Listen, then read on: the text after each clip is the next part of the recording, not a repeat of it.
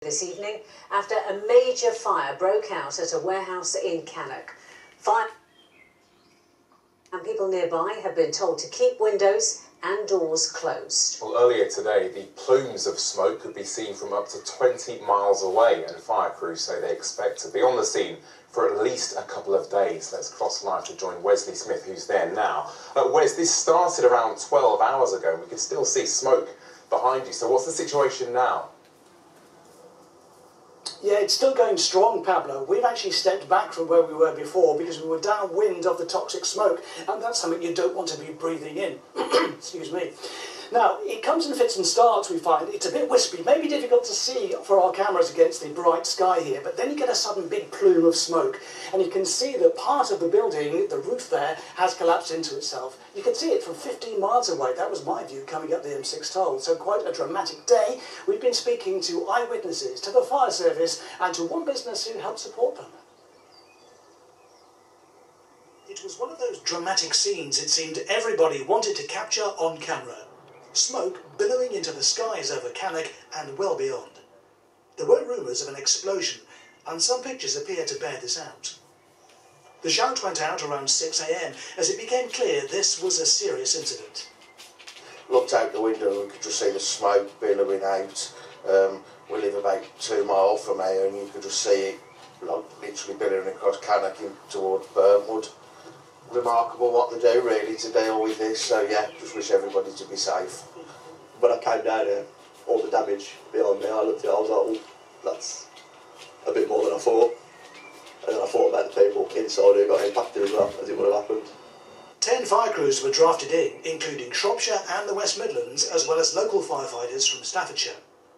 Roads around the Orbital Islands retail parks were closed as fire crews worked out how best to tackle the flames it's very dangerous in terms of the, the situation close to it, uh, and our firefighters have had to be very careful with their actions. They've taken defensive measures to make sure that the fire is contained. It won't spread any further.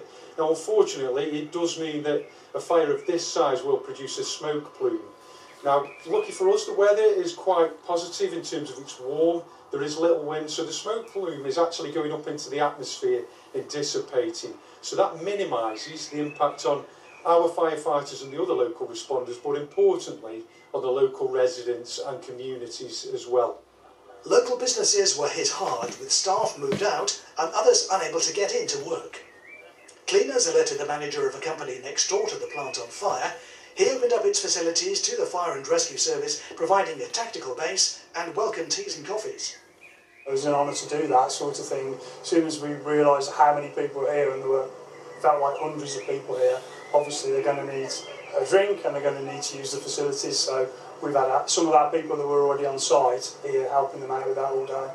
Obviously we haven't been able to trade at all today and can't get staff on site either to deal with our customers sort of thing. So it's had a severe impact so far. The smoke continued to billow hour after hour. The fire service are working with the Met Office and say they'll modify their approach if the wind changes. No word yet from the building's owners, but it's clear the damage is extensive. Wes, we know it is early days, but any idea yet about or as to what caused this? It's too early to know, Sam, to be honest. That's what the fire services say. A bit more about the building. It's uh, Super Smart Services. It's a distribution warehouse. Presumably there are items in there waiting to be uh, delivered. Uh, that obviously is going to put uh, some difficulty in place for them. The fire service tell me they are in here for the long haul, at least for the next couple of days. Okay, for now, Wes, thank you very much. The Ministry of Justice